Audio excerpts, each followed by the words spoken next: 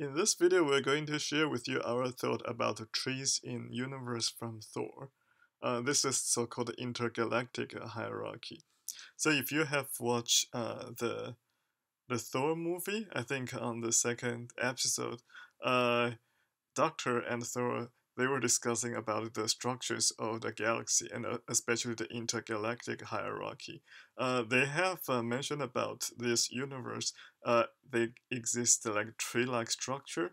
Uh, but if you can think of uh, the solar system, you can think of that the it's it's like a rounded based one, but you can also think of there to exist some trees that trying to connect it, connected the, the planets with the sun uh, usually the system is like the sun with uh, within the uh, within the center, and also there are a lot of other planets. If they could not run away, if they could not uh, uh, rotate fast enough, they cannot emit.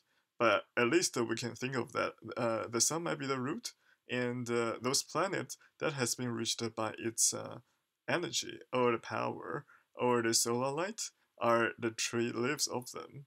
And uh, since some of the big planet, they might also have their moons. So you can think of this like tree, uh, tree type of structure of the solar system. But uh, things like that, according to the ast astronomers, uh, think like that, uh, it happens all the time. And besides, uh, this uh, very, very abstract or conceptual connection is not very, is not so called are solidly connected. So that means uh, it has been uh, regulated by the Newton's second law, and so on uh, for those gravity type. So and since there's no mm, so-called uh, the coordinate center of this universe, uh, they might just rotate it uh, uh, at free will. So how do we try to regulate uh, the structure of the whole universe, uh, I think the mathematician, especially uh, graph theorists, they trying to introduce us, uh, and also computer scientists, they're also trying to introduce us uh, such kind of concept, which is called tree widths. Uh, this is from our previously video file released in this channel.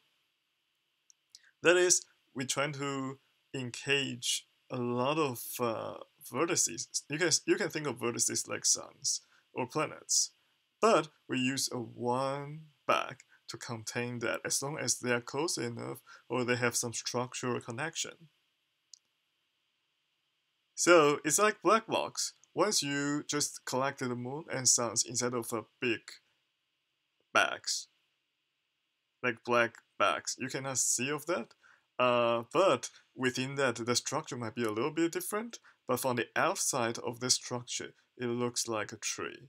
So you can see that if we, uh, if you want to understand uh, how doctors and also Thor's discussion, you may be interested in to talk.